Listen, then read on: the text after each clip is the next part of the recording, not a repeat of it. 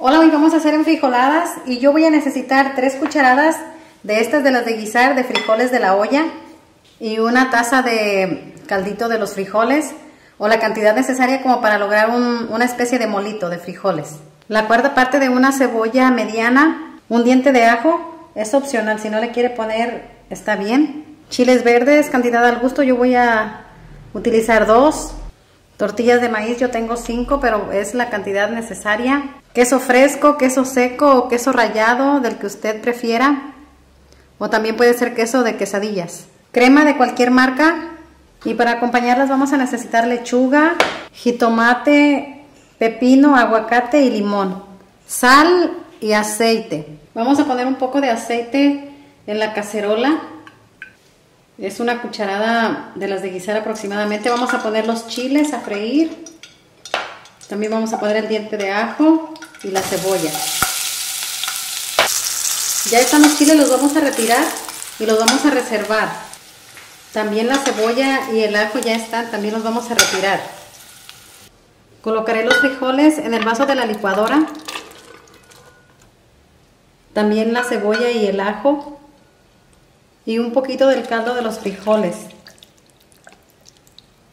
Y los llevaré a moler. Y los vamos a llevar a freír en la cacerola donde freímos la cebolla y el ajo en la misma grasa que quedó.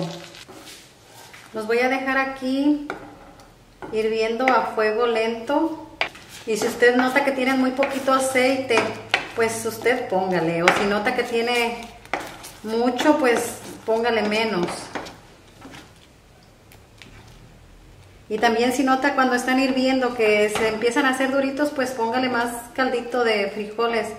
Como le digo, siempre deje la comida a su gusto. Que a usted le guste, que a usted se le haga sabrosa.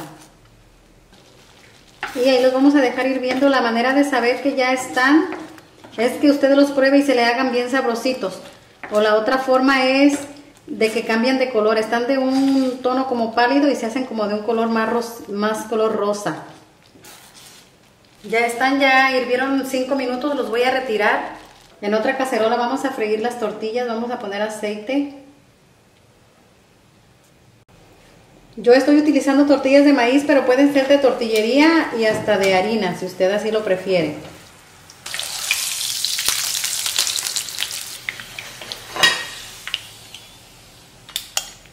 Ya tenemos todo listo, enseguida vamos a empezar a elaborar nuestras enfrijoladas. Les ponemos quesito aquí en medio.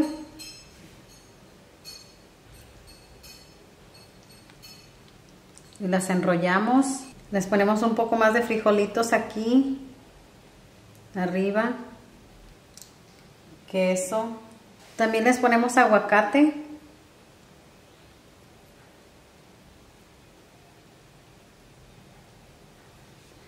Un poco de cebolla.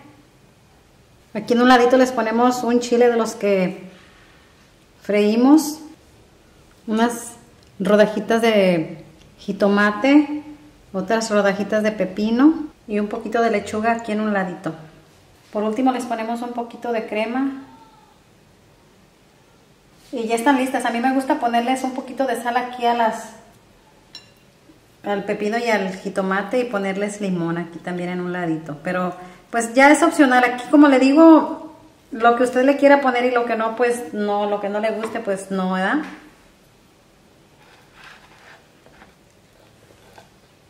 Están riquísimas, yo espero que usted prepare esta receta. Les mando un fuerte abrazo, les invito a suscribirse, a compartir mis videos en sus redes sociales y si Dios lo permite por aquí nos miraremos en un próximo video.